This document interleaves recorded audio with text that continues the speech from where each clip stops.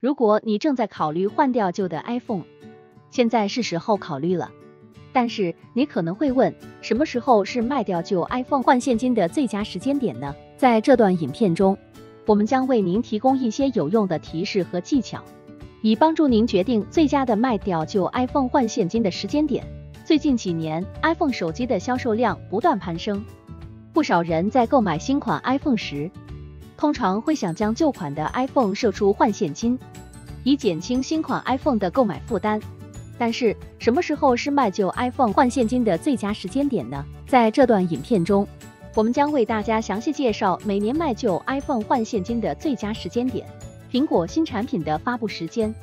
通常每年的九月份，Apple 都会发布新的 iPhone，这意味着在这个时候，人们会对新产品产生很高的兴趣。如果你等到新产品发布后再买旧 iPhone，你可能会遇到更高的竞争，这可能会降低你旧 iPhone 的价值。因此，如果你打算在今年卖掉旧 iPhone 换现金，最好的时间是在新产品发布前的几个月。旧 iPhone 的品质和状态，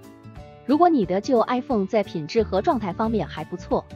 那么你可以在新产品发布前的几个月内卖掉。这是因为在这个时候。市场上可能还没有太多的竞争，你可以获得更好的价格。另一方面，如果你的旧 iPhone 已经非常旧了，或者有许多损坏和问题，那么你最好赶紧卖掉它，以避免价值进一步下降。网站和平台的选择，如果你希望卖掉旧 iPhone 换现金，那么你可以选择许多不同的网站和平台，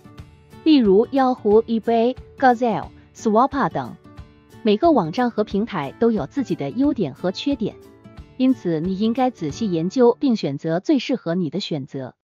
此外，你还可以考虑使用社交媒体平台，例如 Facebook、Twitter、Line 和 Instagram 等，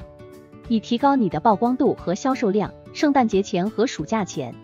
圣诞节前和暑假前也是一个不错的时间点，因为这些节日通常是购买新产品的高峰期。这意味着许多人会卖掉他们手中的旧 iPhone，以支付他们的新购买。这也是购买二手 iPhone 的人数增加的时期，因为许多人将在这些时间购买二手 iPhone。iPhone 售后服务政策变更：每年九月发布新款 iPhone 时，苹果公司也会公布相应的售后服务政策。有些政策变更可能会对旧款 iPhone 的售价产生影响。如果售后服务政策变更对旧款 iPhone 的价格产生了明显的影响，那么这也是卖旧 iPhone 换现金的最佳时间点。需要注意的是，以上只是一些一般建议，实际上每个地区和市场都有不同的供需情况，最佳时间点还需要根据当地的市场情况进行判断。谢谢收看。